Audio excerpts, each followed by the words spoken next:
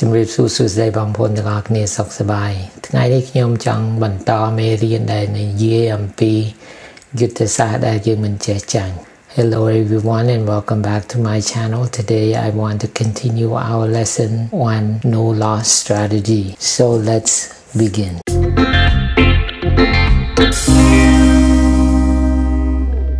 No Loss Strategy Part 2 Long Term Investing November 6 2020ក្នុងមេរៀនមុនខ្ញុំប្រើជាឧទាហរណ៍ក្នុងការធានាឡានអញ្ចឹងថ្ងៃនេះយើងនិយាយអំពីភាគហ៊ុនហើយនឹង options ព្រោះអី strategy យុទ្ធសាស្ត្រដែលយើងនិយាយអំពីនេះគឺប្រើគេហៅថា options ម្ល៉េះហើយក្នុងថ្ងៃនេះខ្ញុំនឹងយកនៅឧទាហរណ៍អំពីភាគហ៊ុនហើយយើងប្រើយ៉ាងម៉េចជាមួយនឹង options អញ្ចឹងមុនដំបូងឧបមាថាយើងមាន អ្នកធ្វើវិនិយោគដែលមាន100ភាគហ៊ុន BAC Bank of America អញ្ចឹងអ្នកធ្វើភាគហ៊ុននេះទិញ BAC Bank of America តម្លៃ24ឡាក្នុងមួយ share ក៏ប៉ុន្តែគាត់រួយបារម្ភថាបើសិនណាជាភាគហ៊ុនគាត់ចូលទៅ20ដុល្លារមួយ share អានឹងគាត់នឹងខាត4ដុល្លារម្ល៉េះហើយគាត់ចង់ទិញគេហៅថា protection យើងចង់ទិញដោយថាធានាឬក៏ការពារដើម្បីបើសិនណាជាភាគហ៊ុននឹងវាចុះយើងមិនសូវខាត so that he won't lose too much អញ្ចឹងគាត់ធ្វើម៉េចគាត់ប្រកាសញ៉ឹងគាត់ប្រកាស សួរតើមានអ្នកណាចង់ធានាភាគហ៊ុនរបស់គាត់អញ្ចឹងគឺថាក្នុងការធានាហ្នឹងយើងត្រូវទិញ BAC នៅតម្លៃ23ដុល្លារក្នុងមួយ share ហើយតម្លៃ23ដុល្លារក្នុងមួយ share ហ្នឹងយើងត្រូវឲ្យចេះពាក្យគេដែលគេប្រើនៅក្នុងធ្វើយុទ្ធសាស្ត្រនេះគេហៅថា strike price បន្តមកទៀតនៅក្នុង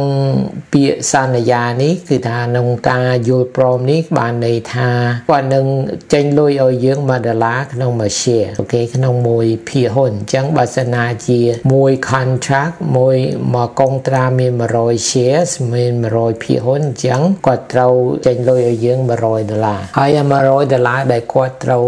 ចេញមកឲ្យយើងហ្នឹងគេហៅថា premium អញ្ចឹងបន្តមកទៀតយើងត្រូវដាក់កំណត់ថ្ងៃតើកុងត្រាហ្នឹងការសន្យាការយល់ព្រមគ្នាហ្នឹងតើរយៈពេលប៉ុណ្ណាព្រោះអីយើងមិនមែនធ្វើវាមករហូតទេយើងដល់យើងត្រូវដាក់ថ្ងៃវាតាមធម្មតាជាដូចថាយើងអាចធ្វើប្រវាយមកក៏បានយើងអាចធ្វើមួយតើតពីតើត3តើតមួយខែពីរខែ3ខែមួយឆ្នាំអីអញ្ចឹងក៏មានដែរប៉ុន្តែក្នុងឧទាហរណ៍នេះឧបមាយើងថាក្នុងកំឡុងថ្ងៃតែ60ថ្ងៃទេអញ្ចឹងថ្ងៃទី60គឺគេហៅថា expiration date តទៅទៀតយើងថាយើងនឹងធានាជាហ៊ុនរបស់គាត់ហើយបានន័យថាបើសិនណាជាយើងធ្វើការយល់ព្រមយើងនឹងទិញភាគហ៊ុនរបស់គាត់ក្នុងការយល់ព្រមនឹងក្នុងការធានានឹងបានន័យថាបើសិនណាជាតម្លៃវាចូលមក23ឬក៏ក្រោម23យើងនឹងត្រូវទិញក្នុងកំឡុង60ថ្ងៃគឺថានៅថ្ងៃទី60គឺថា ការធានានឹងការទទួលទិញនឹងយើងនឹងនឹងប្រឈប់ត្រឹមនឹងឯងហើយខ្ញុំចង់និយាយថា options វាមានពីរយ៉ាងមួយគេហៅថា European style ប៉ុន្តែយើងនៅស្រុកសហរដ្ឋអាមេរិកម្ល៉េះហើយយើងប្រើ American style options អញ្ចឹងបានន័យថាម៉េចនឹងបានន័យថាអ្នកគេទិញកុងត្រាតែយើងយល់ព្រមជាមួយនឹងគេមានសិទ្ធិនឹងលក់ភាគហ៊ុនរបស់គេអានឹងពាក្យដែលគេប្រើគេថា exercise អញ្ចឹងបានន័យថា contract buyer has the right to exercise his right ហើយ contract seller អានឹងយើងជាអ្នកលក់ការធានាហ្នឹងយើង is obligated to buy the stock shares therefore he gets assign shares អញ្ចឹងបានន័យថាយើងបើសិនណាជាយើងត្រូវទិញនឹងគេហៅថាយើង get assigned contract buyer can exercise any time even before the expiration date អានឹងបានន័យថាអ្នកទិញការធានាហ្នឹងគេមានសិទ្ធិគេអាចលក់ភាគហ៊ុនគេហ្នឹងនៅពេលណាក៏បានដែរមុននឹងថ្ងៃដែលវាដាច់ឬក៏មួយនៅនឹងថ្ងៃនឹងដាច់អាកន្លែងហ្នឹងហើយដែលធ្វើវាខុសគ្នាពី European style European style យើងអាច exercise បានតែនៅថ្ងៃដែលវាដាច់ប៉ុន្តែរបៀប American style យើងយើងអាច exercise ថ្ងៃណាក៏បានដែររហូតដល់ថ្ងៃដែលវាដាច់អញ្ចឹងបានន័យថាយ៉ាងម៉េចពីថ្ងៃមុនរហូតទៅដល់ថ្ងៃដាច់បើសិនណាជាតម្លៃវាចុះទៅ23ឬមួយខាងក្រោមហ្នឹងបាយអ្នកដែលទិញការធានាពីយើងហ្នឹងគឺថាគេមានសិទ្ធិនឹងលក់ភាគហ៊ុនរបស់គេនៅតម្លៃ23ដុល្លារក្នុងមួយ share យើងជាអ្នក seller seller ការធានាហ្នឹងយើងត្រូវតែទិញភាគហ៊ុនរបស់គេនៅក្នុង strike price ដែលយើងព្រមជាមួយគេហ្នឹងក្នុងឧទាហរណ៍នេះជា23ដុល្លារអឺយើងជាអ្នក sellers ចឹងបើសិនណាជាយើងត្រូវទិញ stock ត្រូវទិញភាពហ៊ុនគេតម្លៃ23ប៉ុន្តែគេឲ្យលុយយើង1ដុល្លាររួចទៅហើយអញ្ចឹងតាមពិតទៅតម្លៃភាគហ៊ុនដែលយើងទិញហ្នឹងតែ 22ឡាក្នុងមួយហ៊ុនទេក៏ប៉ុន្តែបើសិនណាជាភាគហ៊ុនតម្លៃវាចុះរហូតទៅដល់20ដុល្លារឧបមាយើងជាអ្នកលក់ការធានានឹងឲ្យគេយើងត្រូវទិញភាគហ៊ុនពីគេយើងមិនអាចទិញតម្លៃ20ឡាបានទេព្រោះការសន្យាយើងយើងត្រូវតែទិញទៅតម្លៃ23អញ្ចឹងបើសិនណាជាតម្លៃភាគហ៊ុនវាចុះដល់20ដុល្លារក្នុងមួយភាគហ៊ុនអញ្ចឹងយើងអ្នកលក់ការធានាទៅឲ្យគេហ្នឹងយើងត្រូវទៅទិញភាគហ៊ុនហ្នឹងតម្លៃ23ដុល្លារអញ្ចឹងបានន័យថាយើងខាត3ដុល្លារមកក្នុងមកភាគហ៊ុនអញ្ចឹងមកក្នុងមកកុងត្រាវាមាន100ភាគហ៊ុនអញ្ចឹងយើងត្រូវខាត300ដុល្លារអញ្ចឹងពីមុននេះយើងនិយាយអំពីមុននឹងថ្ងៃវាដាច់ឬមួយរហូតទៅដល់ថ្ងៃកុងត្រានឹងវាដាច់ថាបន្ទាប់មកខ្ញុំចង់និយាយតើកើនឡើងយ៉ាងម៉េចបើសិនណាជាគេអត់ប្រើសិទ្ធិគេក្នុងការលក់ភាគហ៊ុនរបស់គេមុននឹងថ្ងៃដាច់អានឹងគេអាចធ្វើបានហើយអញ្ចឹងនៅលើថ្ងៃដែលវាកុងត្រាវាដាច់តើគេអាចធ្វើយ៉ាងម៉េច គឺថាដូចគ្នាជាងឯងនៅក្នុងថ្ងៃដែលវាដាច់ហ្នឹងបើសិនណាជាតម្លៃភាគហ៊ុនវាលើសពី23ដុល្លារដែលយើងយល់ព្រមនឹងទិញភាគហ៊ុនគេអញ្ចឹងយើងអត់បាច់ទិញភាគហ៊ុនរបស់គេទេព្រោះអីព្រោះតម្លៃវានៅពីលើ23ដុល្លារអញ្ចឹងយើង keep the premium ដែលគេឲ្យមកយើងរួចទៅហើយ1ដុល្លារក្នុងមួយភាគហ៊ុនអញ្ចឹងយើងបាន100ដុល្លារហើយយើងមិនបាច់ចាំទិញភាគហ៊ុនពីគេទេក៏ប៉ុន្តែបើសិនណាជាភាគហ៊ុនតម្លៃវាចូលទៅ23ឬក៏ក្រោមពីហ្នឹងអ្នកគេទិញកុងត្រាពីយើងទិញការធានាពីយើងគេមានសិទ្ធិនឹងលក់មកឲ្យយើងតម្លៃ23ហើយយើងត្រូវតែទិញភាគហ៊ុនព្រោះការធានាគឺថាយើងត្រូវទៅទិញ ពីគេថាព្រោះក្នុងការធានាហ្នឹងយើងត្រូវទៅទិញតម្លៃ23ដុល្លារនៅថ្ងៃដែលវាដាច់ហ្នឹងអញ្ចឹងយើងជាអ្នកអឺលក់ការធានាហ្នឹងបើសិនណាជាយើងត្រូវទិញតម្លៃ23ដុល្លារក៏ប៉ុន្តែគេឲ្យយើង premium 1ដុល្លារទៅហើយអញ្ចឹងតម្លៃយើងតែ22ដុល្លារក្នុងមួយភាគហ៊ុនក៏ប៉ុន្តែដូចខ្ញុំថាពីមុនអញ្ចឹងបើសិនណាជាតម្លៃភាគហ៊ុនវាចូលទៅ20ដុល្លារក្នុងមួយហ៊ុនអញ្ចឹងយើងត្រូវទិញនៅតម្លៃ23ដដែលហើយយើងត្រូវខាត3ដុល្លារក្នុងមួយហ៊ុនអញ្ចឹងសរុបទៅយើងត្រូវខាត300ដុល្លារក្នុងមួយកុងត្រាហើយអ្វីបានខ្ញុំថាយុទ្ធសាស្ត្រនេះជាយុទ្ធសាស្ត្រដែលយើងមិនមានចេះខាតព្រោះអីបើសិនណាជាយើងចង់ទិញ PO នឹងតម្លៃ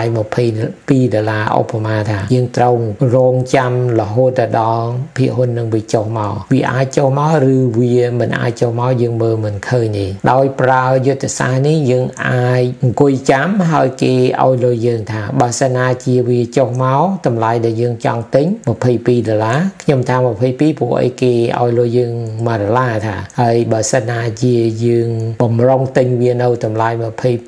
22 ក្នុងការធានានេះយើងត្រូវទិញតម្លៃ23ក៏ប៉ុន្តែគេឲ្យយើង1ដុល្លារមុនអញ្ចឹងតម្លៃយើងពិតជាតែ22ដុល្លារអញ្ចឹងបានន័យថាបើសិនណាតម្លៃវាចុះមក23ដុល្លារយើងទិញអានឹងដូចយើងទិញភាគហ៊ុននឹងតម្លៃ22ដុល្លារអញ្ចឹងហើយម្យ៉ាងវិញទៀតបើសិនណាជាភាគហ៊ុននឹងវាមិនចុះមកយើងក៏អាចបានកាន់ទុក1ដុល្លារដែរវាមិនដូចថាអត់មានខាតពេលអីយើងព្រោះយើងបានចំណេញលុយខ្លះដែរបើសិនណាជាយើងប្រៀបធៀបទៅយើងអត់ប្រើយុទ្ធសាស្ត្រនេះយើងគ្រាន់នឹងអង្គុយរងចាំឲ្យតម្លៃវាចូលមកដើម្បីយើងទិញនៅ22ដុល្លារបើសិនណាជាវាអត់ចូលមកក៏យើងអត់មានបានលុយអីដែរយើងគ្រាន់នឹងអង្គុយចាំឡោះហើយគឺថាក្នុងការប្រើយុទ្ធសាស្ត្រនេះបើសិនណាជាវាចូលមកហើយយើងអាចទិញបានយើងទិញតម្លៃដែលយើងចង់ទិញបាន ហើយម្យ៉ាងវិញទៀតបើសិនណាជាវាមិនចុះមកយើងក៏អាចចំណេញដែលលុយដែលគេឲ្យមកយើងរួចទៅហើយម្ល៉េះហើយបានខ្ញុំថាយុទ្ធសាស្ត្រនេះយើងអត់មានចេះចាញ់ទេក៏ប៉ុន្តែដូចគ្នាអញ្ចឹងបើសិនណាជាតម្លៃភាគហ៊ុននឹងវាចុះទៅក្រោមលើក្រោមពី22ដុល្លារដែលយើងបំរុងទិញហ្នឹងអាហ្នឹងជាការធម្មតាទេបើសិនណាជាយើងប្រើយុទ្ធសាស្ត្រហ្នឹងហើយតម្លៃភាគហ៊ុនវាចុះឬមួយក៏យើងទិញភាគហ៊ុនហ្នឹងមិនប្រើយុទ្ធសាស្ត្រហ្នឹងអាហ្នឹងវាអាចចុះដូចគ្នាអញ្ចឹងដែរម្ល៉េះហើយយើងមិនអាចរាប់អាហ្នឹងជាក្នុងយុទ្ធសាស្ត្រទេគឺថាដូចខ្ញុំបញ្យល់អញ្ចឹងគឺថាក្នុងយុទ្ធសាស្ត្រនេះយើងឈ្នះរហូតព្រោះអីបើសិនណាវាតម្លៃមិនចុះមកក៏យើងបាន premium បើសិនណាវាចុះមកដល់តម្លៃយើង20ដុល្លារនៅក្នុងឧទាហរណ៍នេះយើងបានទិញភាគហ៊ុនដោយយើងបំណងអឺបន្តមកទៀតខ្ញុំចង់និយាយតើក្នុងការប្រើយុទ្ធសាស្ត្រនេះតើវាមានអ្វីអ្វីខ្លះដែលជាមិនសូវល្អឬក៏ល្អព្រោះយើងនិយាយរឿងល្អទៅហើយគឺថាបើសិនណាជាតម្លៃវាចូលមកដល់តម្លៃដែលយើងយល់ព្រមនឹងគេនៅក្នុងកុកត្រានឹងយើងអាចទិញភាគហ៊ុនបានបើសិនណាជាវាមិនចូលមកយើងអាច keep the premium ក៏ប៉ុន្តែវាមានកម្រិតវាអូខេអញ្ចឹងបានន័យថាមិនបើសិនណាជាយើងប្រើយុទ្ធសាស្ត្រនេះយើងត្រូវមានលុយចំនួនសម្រាប់ទិញ100ហ៊ុនក្នុងឧទាហរណ៍នេះយើងថាយើងនឹងអឺទិញភាគហ៊ុនបើសិនណាជាវាចុះមកតម្លៃ23ដុល្លារក្នុងមួយហ៊ុនថាអញ្ចឹងបានន័យថាយើងត្រូវតែមានលុយសម្រាប់100ហ៊ុនទៅជា2300បាទអញ្ចឹងបើសិនណាជាយើងអត់មាន2300សកួរទុកយើងអាចអាចធ្វើយុទ្ធសាស្ត្រនេះបានទេបន្តមកទៀតក្នុងការធ្វើយុទ្ធសាស្ត្រនេះតម្លៃវាឡើងវាចុះអា premium ដែលគេឲ្យមកយើងនឹងស៊ីសងនឹងតម្លៃភាគហ៊ុនហើយស៊ីសងនឹងការឡើងចុះភាគហ៊ុននឹងវាឡើងខ្លាំងឬក៏វាចុះខ្លាំងហើយនឹងស៊ីសងលើ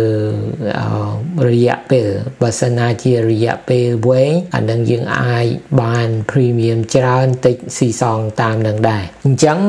ទាំង3ហ្នឹង those three elements mainly determine the premium អញ្ចឹងអាតម្លៃដែលយើងបានមកហ្នឹងក្នុងឧទាហរណ៍1ដុល្លារហ្នឹងមិនមែនតែតម្លៃ